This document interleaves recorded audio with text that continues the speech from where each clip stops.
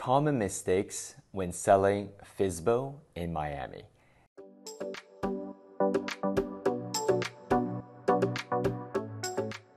Hey folks, my name is Chris at Hauseit, based here in Miami, Florida. Today we're going to talk about this interesting topic that a lot of uh, sellers uh, will often ask, especially if they're you know considering selling for the first time. They first learn about uh, traditional real estate broker commissions, uh, which is entirely a seller closing cost, and they you know jump at the thought of having to pay six percent in uh, commission, six percent of the total sale price when they sell even if that's split 50 50 between the buyer's agent and the seller's agent, if the buyer has a broker, uh, it's still oftentimes the single largest closing cost, regardless of which state you're in, uh, and can really dwarf all other closing costs. So, you know, sellers will obviously think, well, you know, these days everyone searches online. Uh, why can't I just post it myself on some website and, and uh, see what happens and, you know, price it a little bit higher maybe and, uh, and give it a go? So we'll explain some of the common mistakes when trying to sell uh, for sale by owner, how you can avoid them, and uh, alternatives that you can pursue uh, so that you can get full exposure uh, without compromising your sale process, while also having the ability to potentially save all six percent in broker commission if you find a direct buyer. The first mistake that sellers often make is uh, not engaging buyers brokers. So uh, this is something you'll you'll see pretty commonly if you take a look at other you know for sale by owner listings on any sort of website like Craigslist or uh, or Zillow, for example, where you can filter by for sale by owner uh, sellers. And and by the way, this is something that uh, that brokers do pretty often, traditional brokers, to you know, as a way of generating leads to call, harass, and solicit um, to list with them for full commission. And, and they'll kind of go over some of what we talk about in the following video about like mistakes of, of listing for sale by owner. And we'll just explain all of these so you get the truth behind them. And you know, so one of these mistakes is is totally just ignoring uh, buyers brokers, and this is a huge mistake just because uh, buyers brokers do represent anywhere from 75% to 90% of all buyers. Uh, the figure is higher on the higher end of the range in more competitive metro areas. And you know the reason is is quite simple actually. Even though buyers do um, you know can start to search online, uh, there's there's a recent study by NAR that says 98% of all buyers uh, start their home search online, but you know. Very surprisingly, the, the vast majority of them end up working with a, a real estate agent anyway. And the reason is, you have to think about it this way. Um, for example, there's 50,000 licensed real estate agents in the New York metro area alone. Every New Yorker has probably at least five real estate agent friends, and you know each of these friends acts as a salesperson for the industry. They're all promoting, um, you know, having a buyer's agent as a free service, and it technically is because broker commissions, as we discussed, are traditionally a seller closing cost. So, you know, they offer essentially the ability to serve as your guide throughout the purchase process, which is one of the most complex uh, and biggest decisions that uh, someone goes through typically in their life. Um, they obviously want expert advice and guidance through some from someone who has been through it before. Um, it doesn't hurt that buyer's agents will offer essentially a free you know showing service where you know they can they can perhaps show the buyer different neighborhoods set them up on tours where they see multiple listings uh, in a row on the same day um, and you know of course advise them on offers pricing scheduling inspections any of this um, so it, it's it's quite enticing of an offer, especially when it's phrased as "quote unquote" use it or lose it, because it is true. If the buyer, for some reason, forgoes their right to uh, having a buyer's agent, then you know the seller's agent gets quite lucky and simply keeps both sides of the commission, or six percent in the typical example we talked about. Um, so this is, you know, this is just taking a step back. Why most buyers do end up choosing to take advantage of their right to free buyer representation. I mean, why would they say no to something that's quote unquote free? Um, so because of this, most buyers are represented, and then, you know, as a result, it's quite the mistake to uh, to ignore buyers brokers and you, you often see this uh, in these you know for sale by owner listings you might find on random websites you know oftentimes at the top it'll say um, you know, buyers, brokers, please do not call, or real estate agents, please do not call, or like, you know, no agents, please, or no brokers, please, like, do not call, will be blocked, or you will be reported, or any of these, you know, nonsense um, line items. And, and, you know, it's not like realtors are, are looking specifically at FSBO listings for their buyers. I mean, if they are calling, they're ironically, you know, they, they're calling to solicit and, and harass the, the seller to list with them. So it's really a double whammy. It's just like, first of all, it's unnecessary. And two, you know, in the off chance you have a buyer's broker willing to consider, you know, maybe looking at a FSBO listing because it's the only one of its kind, and then you know they're considering, ah, I got to sign a custom commission agreement and you know make sure I don't get uh, you know, disintermediated for my buyer client, you know, and then you put, and then they see, you know, buyer's agents do not call. I mean, that kind of removes your only chance of, of ever engaging a buyer's agent in the first place. And then you're left with who? You know, predatory buyers, vulture buyers, professionals, investors who are, you know, looking specifically for for sale by owner listings to prey on them. Uh, when they're desperate and realize that they can't sell and they really need to sell and they lower their pricing, they're cornered. It's just a bad situation to be in. So, you know, that is a common mistake. And of course, you can avoid that mistake by uh, making sure your property is properly listed in the local MLS plus all relevant uh, third party public websites. And you can do that through a Hauseit agent assisted FSBO listing where you pay a small flat fee up front, as low as $95 in South Florida as of this filming, and $4.99 in, uh, in the New York City market and uh, and your property is listed in the local MLS. So, for example, in New York City, it would be the REBNY RLS. In the Hudson Valley, in uh, Long Island, it would be the One Key MLS. In South Brooklyn, it would also include the Brooklyn MLS. In South Florida or Southeast Florida, uh, it would be the uh, Southeast Florida MLS, also known as the Miami MLS. And then, you know, once your property is listed in the local MLS, it'll automatically be syndicated to all relevant uh, industry standard third-party websites such as Realtor.com, Zillow, Trulia, Homes.com, you know, any number of these sites that you, you might have heard of before. The next point we'll talk about is trying to offer uh, broker commission by yourself on your traditional for sale by owner listing. So this is another uh, funny example we'll often see on for sale by owner listings. Uh, for example, you go on Zillow, you, you, filter by for sale by owner listings, and you'll see these listings that have near the top um, these sellers who have realized, oh shoot, you know most buyers have agents. Maybe I should try to engage them. And then they'll just put in text in their property description, uh, we'll offer 3% to buyers brokers or 3% commission to buyers brokers. And they're like, now I've got it. You know, now buyers brokers will show the property. I'm offering commission the same as they would earn anywhere else. So no problemo, right? Wrong. So this is um, goes back to the same problem we talked about. You know, just because you write uh, 3% to buyer's brokers in your property description, I mean, how on earth is a buyer's broker supposed to take your word for it? I mean, they, you know, keep in mind, especially in competitive metro markets, uh, buyer's brokers typically don't have any sort of exclusivity arrangement with the buyer. The buyer acts essentially as a free agent, um, which is why it's so important that buyer's brokers only show listings that are in the MLS to their buyer clients because they're protected. They'll automatically and contractually uh, be split commission if they, you know, are the procuring cause of, of a sale. They bring a buyer, but with the FSBO listing, it's you know it's completely arm's length. There's no protections whatsoever, and moreover, because the seller has decided to sell for sale by owner, you know, the buyer's agent probably assumes that the uh, the FSBO seller probably doesn't want to pay commission, is trying to get out of paying any commission uh, in the first place, and might not like real estate brokers to begin with. So uh, you're not off to a good start in terms of building trust that, hey, like I'll actually pay you. Plus, just think about it from the buyer's broker's perspective. It doesn't really matter what you say in your property description because the the buyer's broker doesn't even need to send your listing link you know to their buyer client they could just mention the address and the buyer theoretically then could just google the the address uh, find out that it's a for sale by owner listing and potentially skirt around the buyer's broker go direct to the to the seller and then the buyer's broker is out of a 3% payday you know and, and they may have done a ton of work, work, done a ton of showings and tours for that buyer, and, and you know all of a sudden they're out of luck. they just wasted all of this time because they made the mistake of showing a for sale by owner listing or even giving the address to their buyer. So as you can see, this is quite dangerous.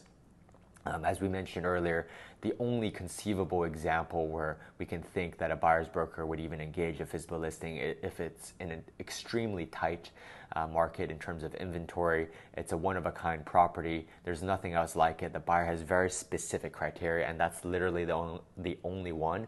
In that case, there's a small possibility that this this buyer's broker, if they even take the time to search outside of the MLS for listings, that they might approach the seller, um, you know, make sure they carefully uh, sign and uh, you know draft and, and, sign a custom, you know, some sort of custom commission agreement or a one one time showing agreement um, with the buyer's name and such to make sure that they will absolutely be protected uh, if the if the buyer goes through. And you know, just think about how difficult this is. You have to draft a, a contract, you have to sign it you know, how can they do this sustainably, you know, if they're looking at for sale by owner listings? They can't, right? They don't need to sign or do anything to show listings that are properly co-broked in the MLS. So it's a lot of hassle. Um, you know, if there's any sort of negotiations or pushback on the language and stuff, it might take, you know, really a long time back and forth. And it's just like, it's really a bad situation and, and highly, highly inconvenient to the buyer's broker, which is why it doesn't happen very often. Another common mistake that sellers make when trying to sell FSBO is they will uh, list their property way too high in price. And you know the thinking is, hey, you know I'm patient. I'm my incentives are aligned, not like the brokers, because I I don't need to sell. I can wait for the right price, the right buyer to come in, um, and they they price it very high the problem with that is, you know, sure, if you want to just waste your time and you really don't care about selling and you're trying to do a market uh, pricing exercise and you want to price it high, okay, then maybe just just you can list it like very high and see what happens. If you get any any uh, inquiries, you probably won't. Um, but the problem is for FSBO sellers that try this approach who actually need to sell at some point. And what happens is when they list it high and they get no bites, it's crickets. The only people who are inquiring are brokers who are trying to pitch them in their living rooms uh, to list with them, you know, or cold calling them to list with them. And, um, you know, then months go by, their days on market goes up. It looks like an old listing. And then shoot, all of a sudden, like three, four months later, they're like, we really, I really need to sell and most of the inquiries for any listing, you know, even if it's properly marketed, come in towards the beginning of the listing period, the early days of your days on market, when the listing is fresh. You know, later on, people, you know, they won't get alerted to it really, and and you know, people if they do see it, they might assume, hey, it's been on the market for quite a while you know, it's probably already spoken for, or worse, like maybe there's something wrong with it if it can't sell. And then so, you know, here you are four or five, whatever months later, and your listing is still on the market, it's stale. Uh, the only people who are occasionally reaching out to you are brokers trying to pitch you to list with them. And shoot, you suddenly actually need to sell.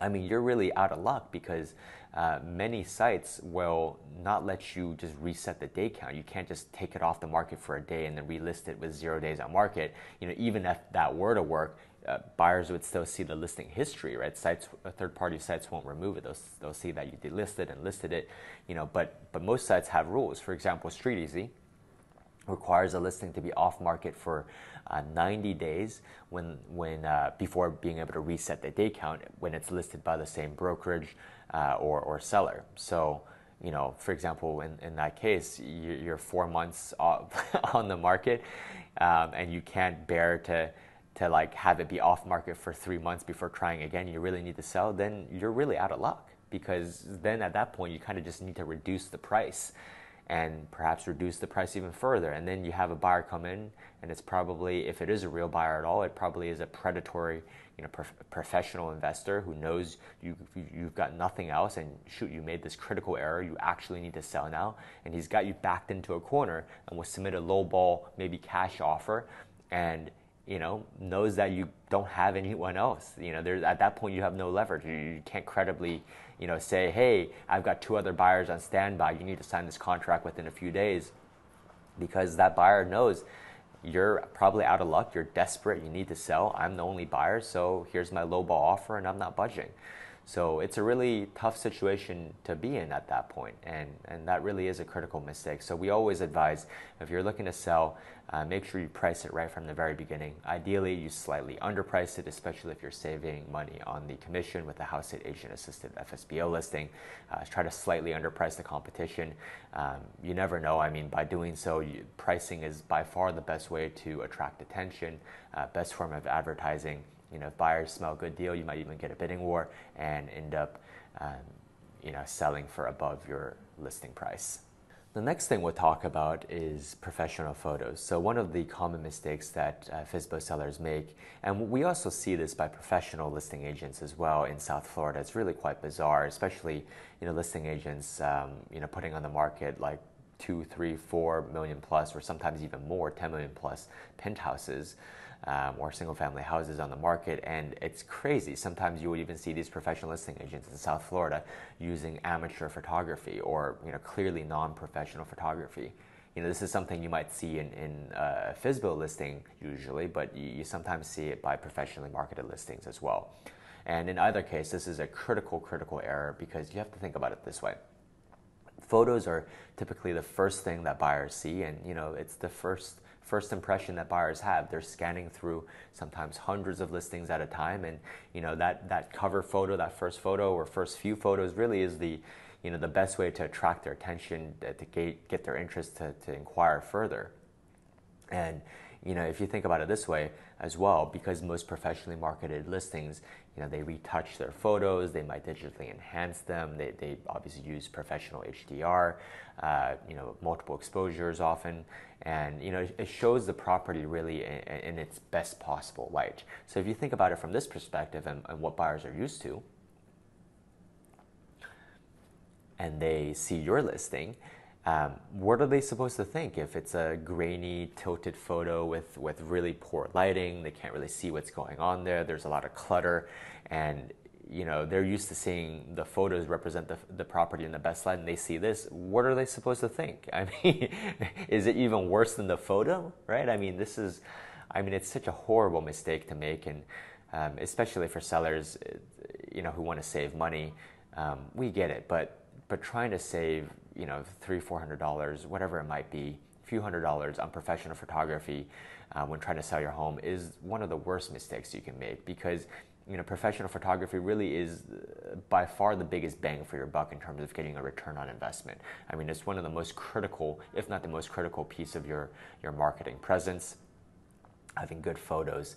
So you know by skimping on a few hundred dollars on a multi-million dollar property is, is such a critical mistake. So we highly advise uh, not doing that, check out our photos on hauseit.com um, to see some examples of before and after photos, and you'll see the stunning difference uh, between the photos that some of our former uh, sellers took when they tried to do it themselves in a traditional FSBO manner versus when they listed with us either through our agent assisted FSBO listing service or our 1% full service listing option. And our professional photography team came in.